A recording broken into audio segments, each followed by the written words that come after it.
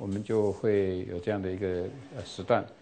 不过，我想我们今天啊，还是从学习的角度，还是要具体呃来做一点的这个分享哈，跟分析。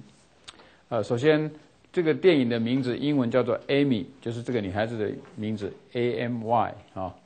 那中文呢，就是爱美，爱生好的爱，爱美的世界，爱美的世界哈。那其实像这种的电影，一般人都不太会注意到的，因为这个不是一种所谓的很很卖座的电影。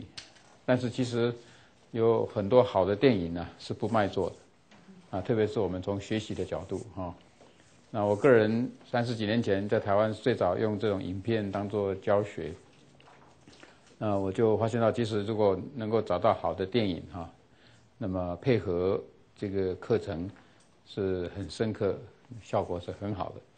我曾经在一个博士班的课程，呃，一个礼拜三十天，四个学分，我们就看六个影片。啊，所以几乎每一个影片我们花五个小时，从看到很深入的讨论。那么这些教牧博士班的学生呢，啊，到现在都还觉得非常的这个印象深刻哈。好，那这个电影，我们现在看看哈，从创伤、从危机的角度来看，这个电影告诉我们，当一个人碰到所谓的那么特殊的这一种创伤打击的时候，这个电影里面的几个人物，那他们的症状是什么？你看到的他们的症状是什么？啊？症状是什么？呃呃，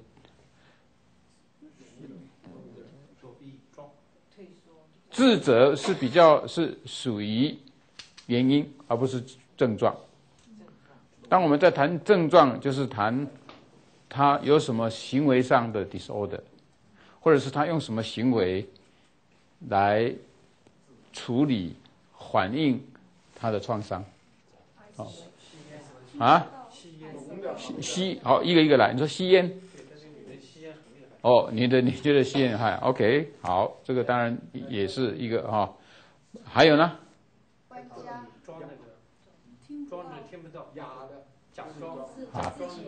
好，这个 Amy 当然最严重就是 Amy，对不对？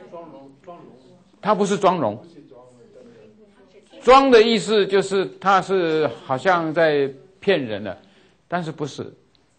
人就是那个奇怪。我们我不知道昨天有没有提到，人的很多的行为都是大脑在控制，有没有？你有一些特殊。强烈的遭遇的时候的打击的时候，有的时候人的脑就好像是，就是怎么样封闭了，或者是脑的这个传播体就就短短线了。然后呢，平常脑就会传，比如说你要讲话，你会刺激哪一个部门让你讲话，对不对啊？所以他就突然在那个那个那个那个线路短线了，所以短线了以后呢，他就不知道怎么讲话，那听听的这个系统呢也帮你短线了。所以这个不是装啊，这个就是所谓的冲击造成。我就像我昨天提到，有人一听到他他得到癌症了，有没有？整个人就就好像呃完全封锁掉了，啊，变成一个呃退化的一个一个人，有没有？当然，慢慢的这个生理学在研究就发现到，呃，像传人很多的这个脑像那个传导体一样，很多的线路就像电脑。啊，有的时候会会会短路，啊，那有的时候他们另外从一个角度来看呢，人有一种叫做 enzyme，一种酵素的的这种分泌物，然后呢去提供这个传导体的一些的养分啊，跟所谓的这个刺激的因素。但是有的时候因为有太强烈的这个刺激，人的身体那个那个应当要有的那个 enzyme 突然就怎么样？突然就不不分泌了，啊，或者是分泌突然过多了。然后呢，这样的关系呢，就会造成脑的各种的问题。所以，Amy 当然是最严重，没有错。哦，他啊变成耳聋，然后呢也变成哑巴，对不对？啊，然后他的妈妈呢？他的妈妈呢？啊？脾气暴躁。脾气暴躁，还有呢？过度的保护。过度的保护。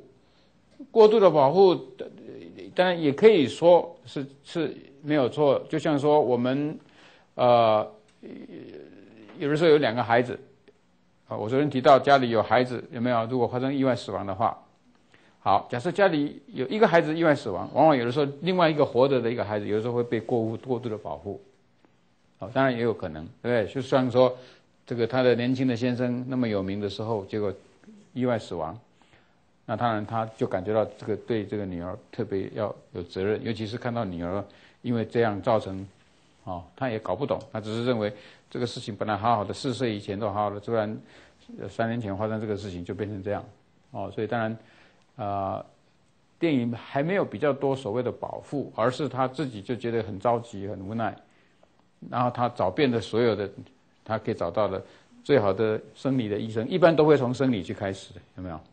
啊，就像电影《一样里面一开始就注意看，其实艾米的现象不迟的，他妈妈都找一般的医生，结果量血压、量温度、量各种都没有问题，甚至可能有的医生以后再看到艾米妈要叫他去出诊的时候，可能他就想你不要来烦我了，你来你的女儿没有病，有没有？哦，好，他的妈妈还有哪一些现象？没有安全感，没有安全感。不信任。不信任，还有呢？经常回忆啊？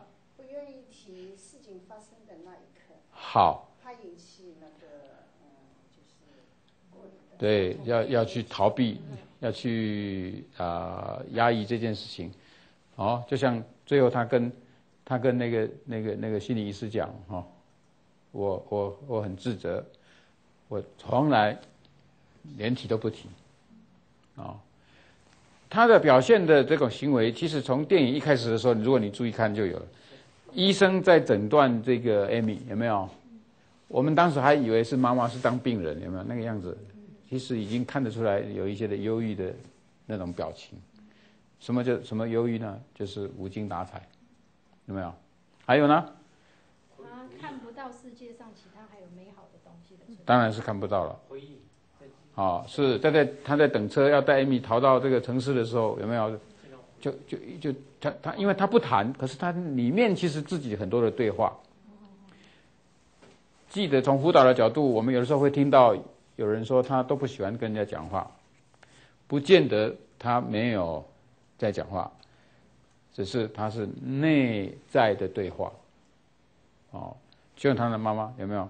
常常一个人安静的时候，或者是特殊情况就会。追忆就会想，然后这个发呆，就像那天在等车的时候，有没有？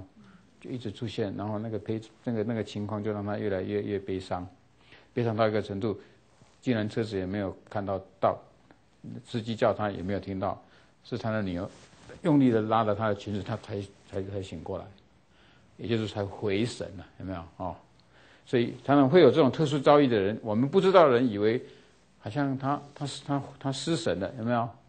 好像他活在另外一个世界里面，就像艾米一样，啊，你看很多人说艾米电影有没有看到他一直这样，啊，这个也是一种碰到这种特殊行为的情况哈，反映出来的一种机械式、机机械式的这种行为。你到精神医院看，有很多这样的事情，啊，会有某一种动作，嗯，这个就是代表着一个人的这种呃焦虑不安。啊，或者是一种行为模式变成一种机械化，哦，那这些啊，还有呢，这个 Amy 的妈妈，她不让那个孩子听音乐，就是她每次都是把那个收音机关掉。对，那这一点就是她的妈妈很可惜不知道有这个关联，所以那个年轻的 Robert 啊，有一点所谓的比较肆意的音乐家，告诉他妈，他不相信。啊，那其实艾米就是喜欢听这一类的音乐，因为什么？因为他爸爸是这一类的顶尖的这个歌手嘛，哦，所以这是一个啊所谓的两个人没有呃交结，啊，我们再回到这个艾米的妈妈，她第一次整个人真正的崩溃是在什么时候？就在酒店有没有？哦，他跟 Robert 因为。他要谢谢 Robert，请他去吃饭，结果没想到在那个酒店里面碰到以前他先生只是驻唱的一个人，现在竟然变成那么走红，有没有？然后这个新闻记者总是喜欢呃呃这这个这个这个所谓的骚扰这这一这一这一类的人哈。但是因为这样的关系，就引爆了这个艾米的妈妈。我想那个是他可能事情发生以来有史第一次啊，有一点像像整个人就就崩溃了啊。那其实也不是坏事，对，这个只是证明他有相当强烈的这个症状。哦，那那一次也许是他第一次自己哭叫出来，哦，但是最后那一次他才。有机会跟医生、跟艾米大家一起讨论那一天的事情，哦，所以这个是就是这样啊。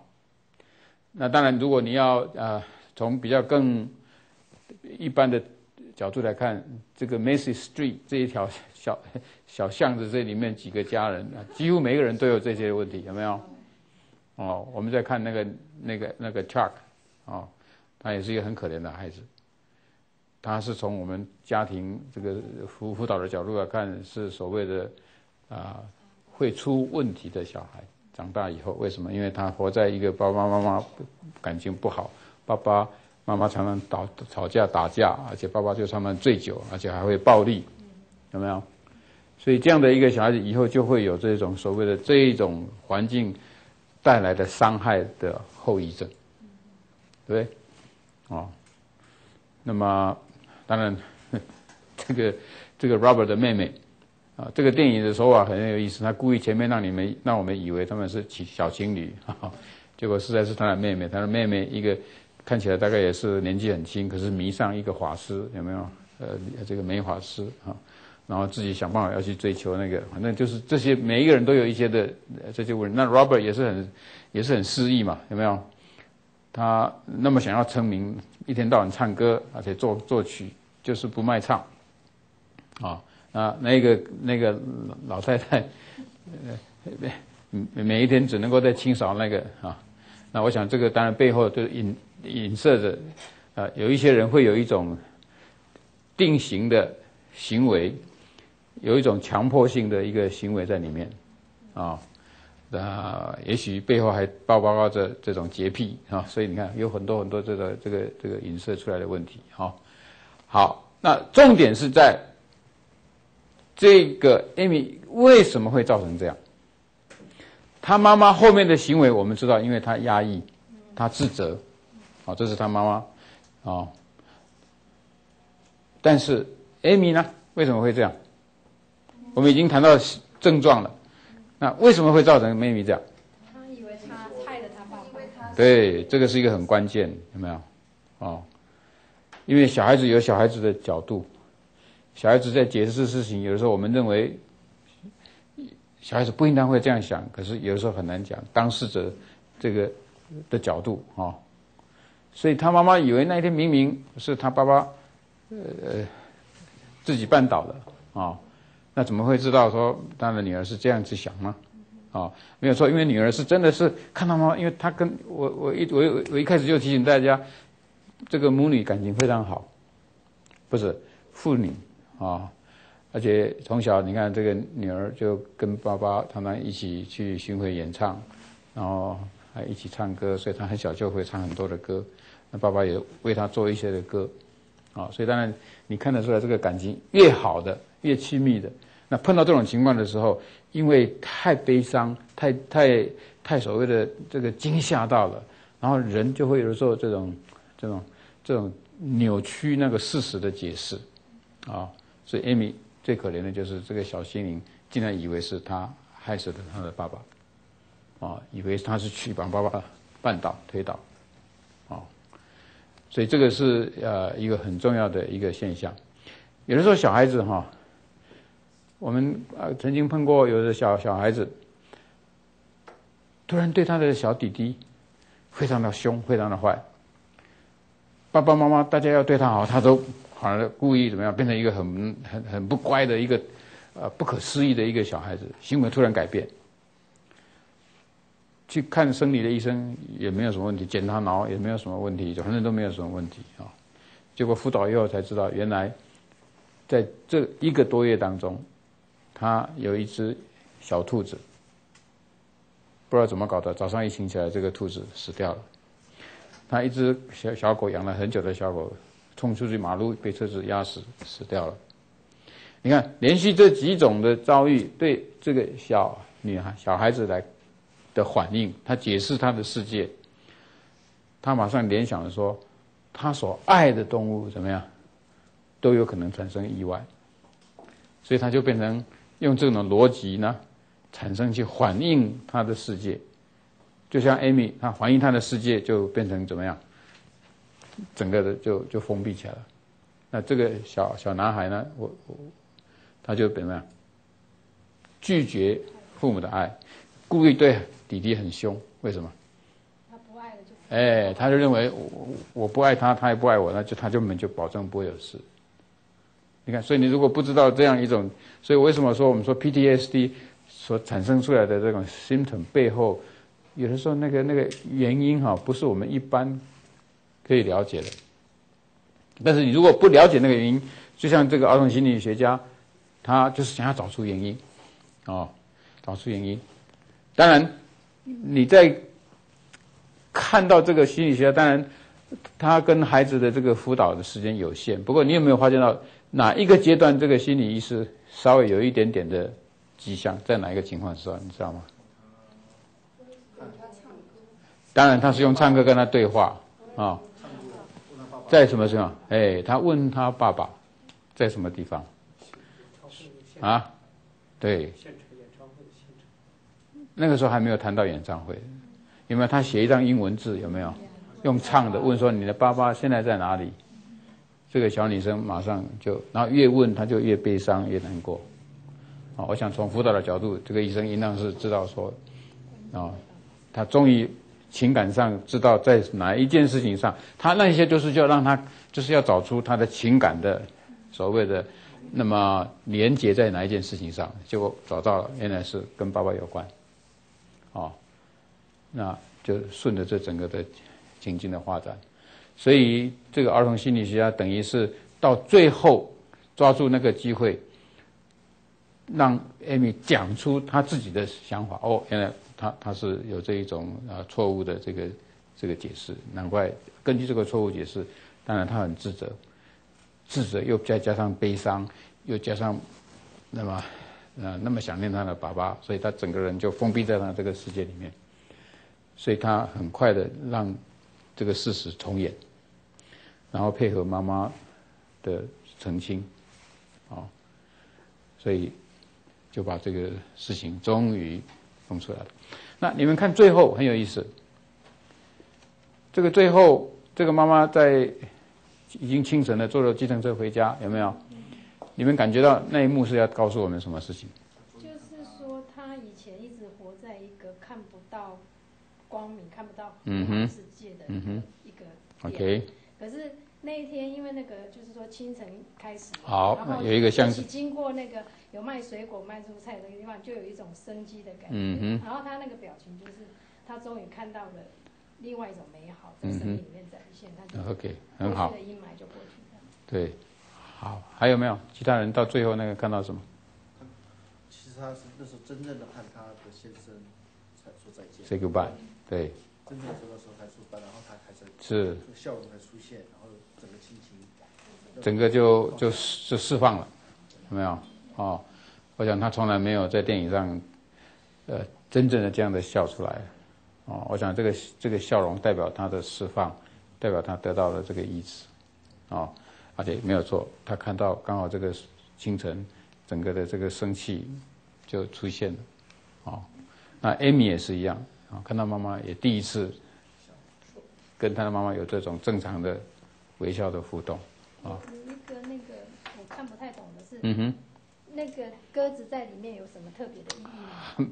没有什么特殊的意义，不过就是说，你知道，像我们一般谈自闭症，我们在谈特殊的小孩子，我们都以为自闭症就是没有办法跟人家沟通，但是其实有很多所谓的没有办法跟人沟通，是没有办法跟一般的人沟通，或者说我们一般的人不懂得跟特殊的孩子沟通，所以这里面就就是在代表着，你看，Amy 她虽然不能动，可是她其实跟动物可以办法有互动的。有没有？哦，那他其中就把他家里养的这个鸽子把它放掉。我想一方面也象征着他要让这个鸽子自由嘛，哦，呀，那你看在公园里面，别的小孩子谁敢谁敢抓那个鸽子，而且可能也抓也抓不到，可是他就有办法，哦，所以这个就是我们常常要记得，我们不要轻易说啊，这个人没有办法跟人家沟通，不，只是可能跟跟你跟我没有办法沟通，可是有些人人家有办法跟人家沟通，哦。啊，我今天听到这个啊，洪生在谈到他的一个小孩，可以谈一下哈。有一个自闭症的问题，他花了三年的时间啊，进入到孩子的这个世界里面啊。我相信他他虽然不是一个专家，可是他比专家还专家。为什么？因为他用了三年的时间，跟这个自闭的自己的孩子进入在他的世界里以后，慢慢把他带出来。嗯，这个是哈，是一个很不容易的事情，对不对？哈。啊，所以这个最后的一个 say goodbye 很重要，啊，这就是强强壮起来。是，呃，记得人心人的这个 PTSD 可怜就是在这个地方，那个本身已经是很可怜的的境遇，对不对？可是因为你们处理不当的时候，你还要再花费很多的 energy。去处理他的不正常的这种这种情况。简单的说，这个妈妈，她其实如果真的找能好好的哭，好好的谈一谈，一次把这个 energy 就是把它啊发泄出来哈。但是她没有办法，你看她的表情，你看她这样，他还要花很多的 energy 去去去出去去去去去维持他的这一种 energy 的啊。就像我常常提到。当然，我们今天不是婚姻的问题。不过，我们常常 challenge 一些维持在婚姻那种啊呃很冷漠、很不好的婚姻的关系哈，而不愿意实际去改善或者求助。我常常说，其实很多人只要花一半的维有办法维持不好的婚姻的 energy，就能够改善他的婚姻。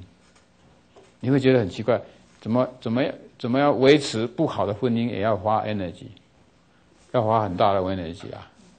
你有没有这个经验呢？啊，嗯，非常有啊，啊，举一个小例子好了，啊，我自己的亲身例子，以前跟我太太有的时候那时候比较年轻一点，有的时候总是还是有一些冲突矛盾，啊，那那突然那天晚上睡觉的时候，你就感觉到糟糕，为什么呢？很不自在，有没有？两个人大家又不愿意谁先讲话。相敬如宾对，冰冷的冰啊，然后睡觉的时候呢，就很怕不小心手去靠住他，脚去摸到他，因为我不要让他以为我这样就是要跟他和好，你知道吗？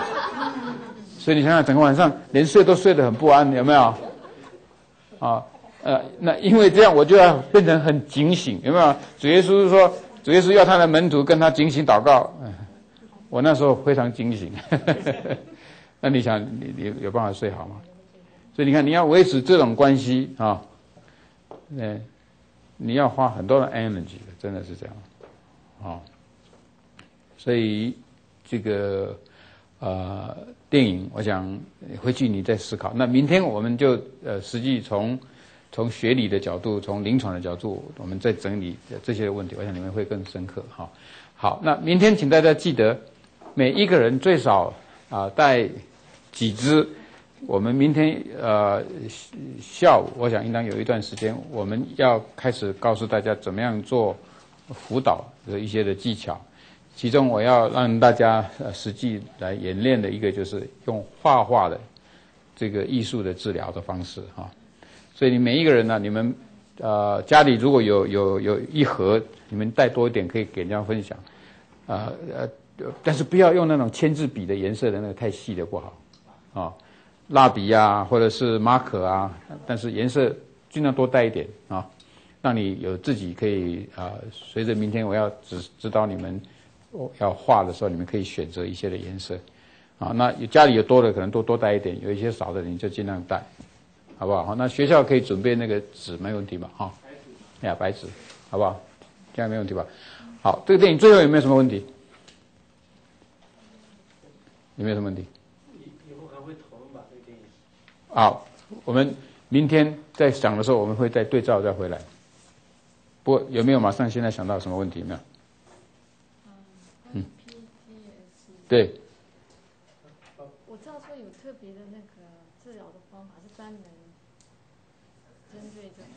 对因为如果你不知道原因的话，它是不是就是可以侦测出你是什么原因，然后再加上治疗对，好，所以所以我们明天谈症状，谈这些问题以后，当然在下一步就会再谈怎么样去辅导。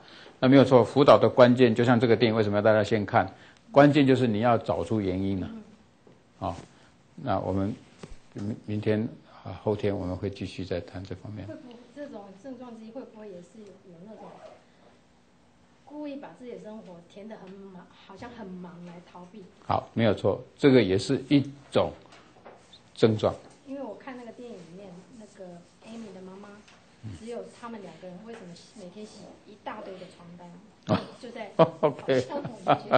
也有可能啊，呃，也许他这个还不算是真正的用用家事来忙，不过有的真的是是很忙，就像刚才提到抽烟，那个都是行为上要他想要克服他的不安的一种方式啊，嗯，好，我们明天再再来继续探讨，记得带带这些画笔来哈，OK，好。